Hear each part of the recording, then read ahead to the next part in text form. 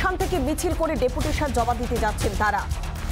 বালিগঞ্জে TET প্রার্থীদের মিছিল দু হাজার নয়ে প্রাইমারি টেট উত্তীর্ণ চাকরি প্রার্থী। দীর্ঘদিন ধরে তারা চাকরি নিয়োগপত্র পাচ্ছে না। সে কারণেই ডেপুটেশন জমা দেওয়ার জন্য তাদের মিছিল। দক্ষিণ চব্বিশ পরগনা দু হাজার নয় সালের প্রাইমারি টেট উত্তীর্ণরা তারা ডেপুটেশন জমা দিতে যাচ্ছে। আমরা এ নিয়ে আরও বিস্তারিত জানব। আমাদের প্রতিনিধি ভাস্কর রয়েছে। ভাস্কর।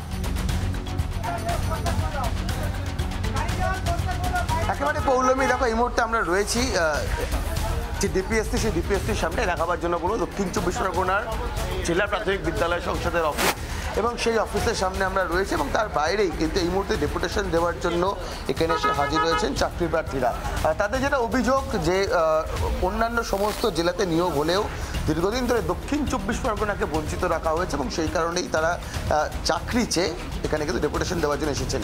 একটু দেখাবার চেষ্টা করব ছবিগুলো আমার ভিডিও সোমনাথ পালকে বলব দেখানোর জন্য এবং অবশ্যই প্রতিক্রিয়া নেব যারা এখানে ডেপুটেশন দেওয়ার জন্য এসেছেন তাদের সাথে কথা বলব। আপনাদের অভিযোগ কি?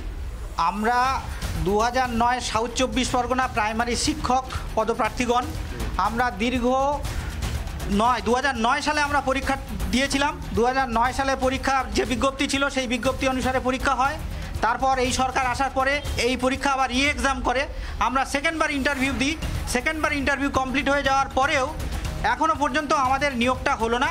কিন্তু সমস্ত জেলা নিয়োগ হয়ে গেছে। শুধুমাত্র সাউথ চব্বিশ পরগনা দু নয় এখনও পর্যন্ত নিয়োগ আমরা পাইনি। আমরা। আমরা বহুবার বহু দপ্তরে বিভিন্ন জায়গায় আমার ব্যাগে ফাইলের শেষ নেই। এবং মানে আপনারা বিভিন্ন দপ্তরে ঘুরেছেন কিন্তু তাও নিয়োগ এখন এখন অব্দি অ্যাপয়েন্টমেন্ট লেটার পাওয়া যায়নি এমনটাই অভিযোগ করছে তারা এবং সেই কারণেই কিন্তু এই মুহূর্তে ডিপিএসসির সামনে অবস্থান করছেন এবং তারা ডেপুটেশন দেবেন এমনটাই কিন্তু তারা জানাচ্ছেন পৌলমী। একেবারে অনেক ধন্যবাদ সরাসরি ছিলেন আমাদের প্রতিনিধি ভাস্কর।